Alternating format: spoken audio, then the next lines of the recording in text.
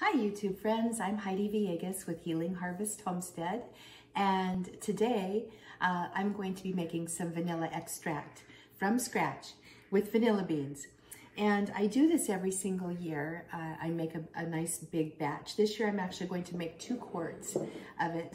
And one of the reasons why I like to start so early, this is the end of August right now, is because I want it to be ready and I wanted to have a several months of infusion time before the holidays. Homemade vanilla extract makes a wonderful gift.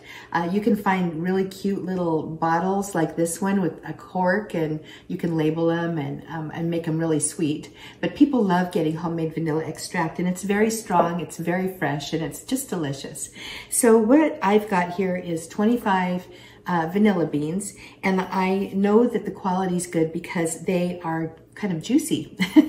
so you don't want dried up vanilla beans. You need to find a good quality. And then what I'm going to do is I'm going to slice them down the middle like this. And then what I'm going to do at this point is I'm going to cut them into about one inch to two inch um, little strips and place them in my quart jar.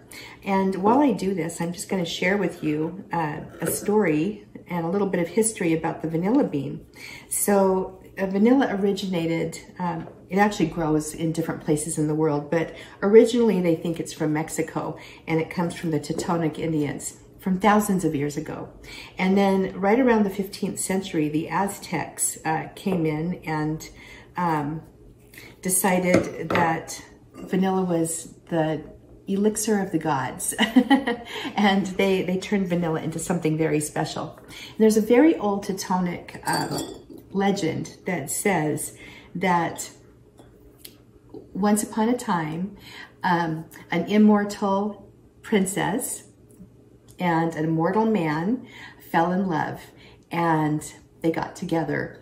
And the people were not happy because that was an illicit and forbidden romance. So the two of them were both beheaded. Where the drops of the blood fell on the ground is supposed to be where the first vanilla plant emerged. so it's a little macabre, I know, but um, I thought it was kind of a neat story too. So anyhow, um, wanted to just share that with you. While I'm cutting up the rest of these vanilla beans, um, I just want to uh, mention that vanilla is uh, just such a beautiful, beautiful spice to use. It's wonderful to put into your herbal infusions and your teas. It's, it's just, it's delicious. And um, it's well worth it if you can find your own um, juicy source of berries. I did just get these off of Amazon. Um, I like to look at the reviews and then check out the company that I'm buying them from, but this is just an Amazon product. And if you want, I can put the link in the description below. In fact, while we're talking about um, the description below, I just want to mention that you can get my free herbal remedy guide plus a cheat sheet. It's perfect for your home apothecary or your kitchen. Um, all you have to do is um, sign up to get it. and I'll put a link below. And then another thing is, is if you are interested in starting to learn how to use herbs for your health and wellness and also for your home and your body, um, I have a free five-day e um, email foundations course for herbalism that you can take, and I'll put that link below too. And in the meantime, I do hope that you will subscribe to um, my channel because it's more fun when you're here. All right, this is 80 proof alcohol. And I like to use 80 proof because uh, number one, it works just fine. And number two, uh, it's kind of easier on the palate, I think, than when you start getting into the higher proof alcohols. The higher proof alcohols can burn. Um, so this is going to be primarily for cooking um, and giving as gifts. So I'm gonna keep my proof fairly low here. And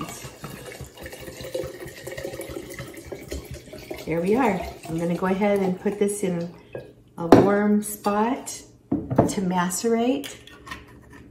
uh, until, let's see, September, October, November. It's gonna macerate about three and a half months. And at the end of that three and a half months, I'm going to have a very strong product. It's clear right now, but pretty soon it's gonna be a beautiful, a dark, dark brown and perfect for gift giving and cooking. So I hope you enjoyed this quick tutorial on how to make uh, vanilla extract from scratch at home. All right, I will talk with you later. I'm Heidi with Healing Harvest Homestead. Please subscribe.